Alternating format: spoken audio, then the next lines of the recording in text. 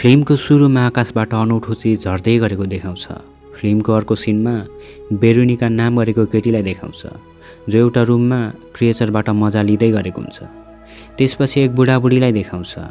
बुढी चाहिँ बेरुनिका भएको रुममा जान्छ तर त्यहाँ बेरुनिका हुँदैन। ऊ पहिले नै त्यहाँबाट गइसकेको हुन्छ।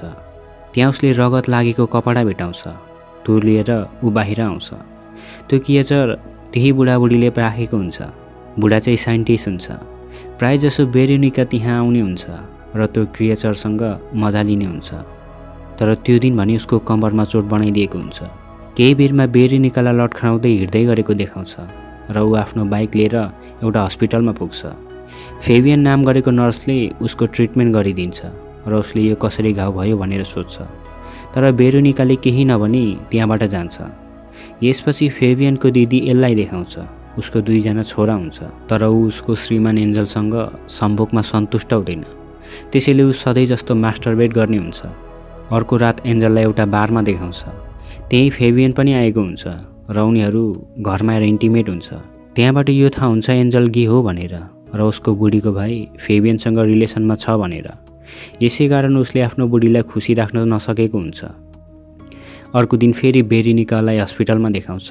ऊ ड्रेसिङको लागि गएको हुन्छ र फेरि उसको भेट फेबियनसँग हुन्छ र उनीहरूको बातचित हुन्छ।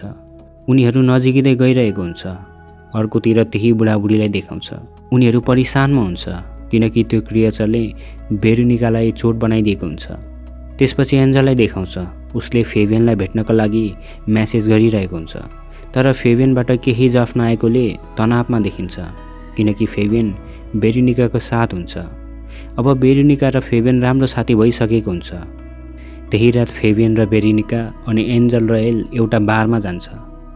फेबियनलाई बेरुनिकाको साथ देखेर एन्जल रिसाउँछ किनकि उसले एन्जलको कल र मेसेजको रिप्लाई दिएको हुँदैन।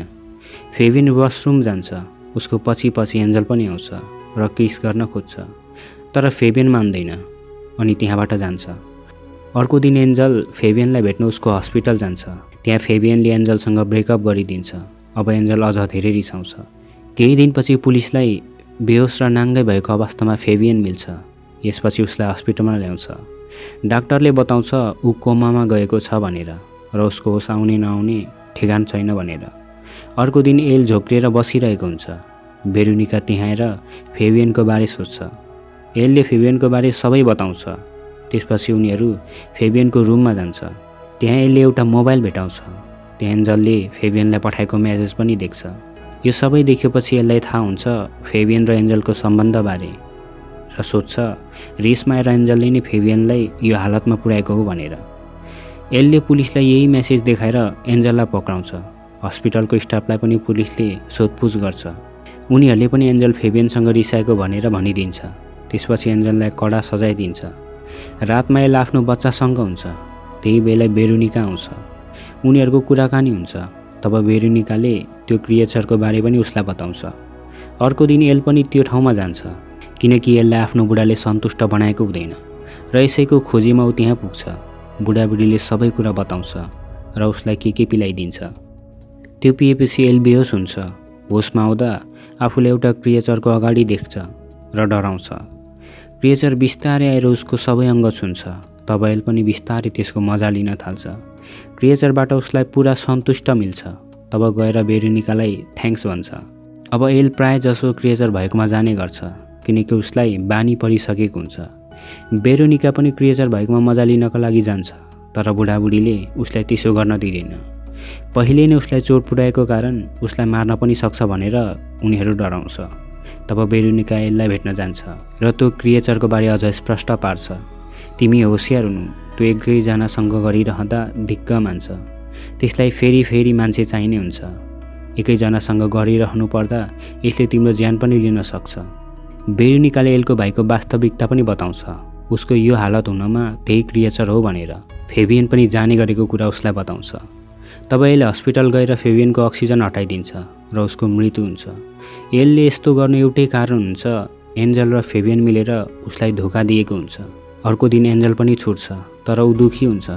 किनकि ऊ दोषी नभएर पनि आफ्नै श्रीमतीले दोषी बनाएको हुन्छ र सुसाइड गर्नु खोज्छ। तर उसको बाउले उसलाई सम्झाएर रोक्छ।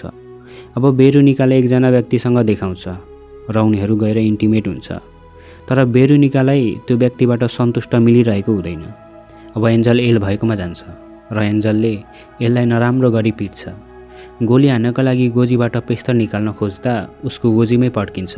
र एन्जल घाइते हुन्छ। तब एन्जलले यसलाई हेल्प माग्छ।